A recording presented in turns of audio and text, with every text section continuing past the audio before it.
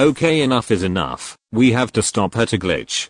Chicken fish, I've said it thousand times I glitch explosion we having days from 4 pm. And I have 7000 times, and that's no glitch like this.